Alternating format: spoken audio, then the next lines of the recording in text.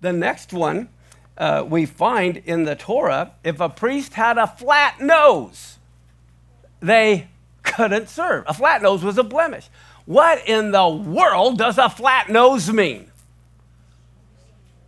The Bible tells us. The Torah tells us what a flat nose was. What a concept. Again, let the Bible interpret itself. Moreover, in Job 27, 1 through, uh, no, Song of Songs. I love the Song of Songs. Let's go to chapter 7, verse 4. He's talking about the bride, and he says, Your neck is as a tower of ivory, your eyes like the fish pools in Heshbon by the gate of Bath-rabbim, and your nose is like the tower of Lebanon. Who, what lady says, Hey, you got a nose like the tower of Lebanon? You know, smack him. What do you mean I have a nose like the tower of Lebanon? That looks toward Damascus. Damascus is the enemy, right? I mean, how many of you ladies would like someone to come up to you and say, Oh, you got a nose like a tower? So, what is God saying? The flat nose is bad, and the nose like the tower is good. Look what Job says.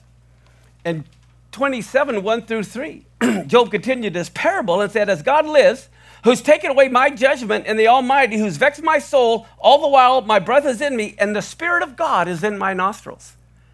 What it's saying is the bride has discernment. The Spirit of God discerns between what is right, what is wrong, and it's looking toward Damascus where the enemy is.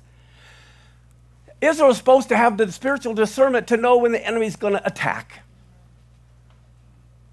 A flat nose means no discernment, no spiritual discernment. A nose like the Tower of Lebanon means they have the discernment, and they're looking toward the enemy.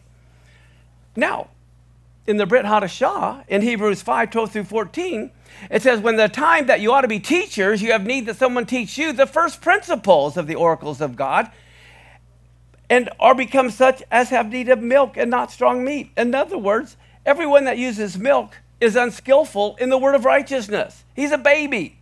But strong meat belongs to those that are of full age, even those who by reason of use have their senses exercised to discern between good and evil.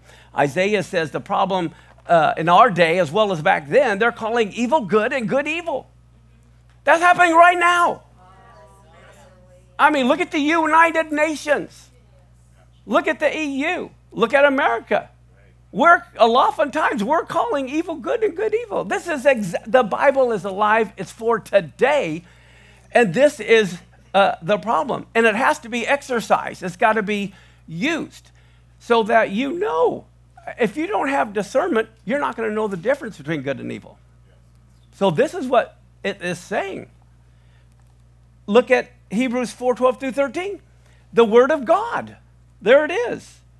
That's the Torah is quick, it's powerful, it's sharper than any two edged sword, piercing to the dividing asunder of soul and spirit and of the joints and marrow, and it is the discerner. If you don't have the word of God in you, you're not going to know how to discern. It's a discerner of the thoughts and intents of the heart. Neither is there any creature that's not manifest in his sight, but all things are naked and open to the eyes of him with whom we have to do. So, a flat nose. How many have ever heard the say, uh, saying, I smell a rat. I smell a rat. Okay, so this is what a flat nose is.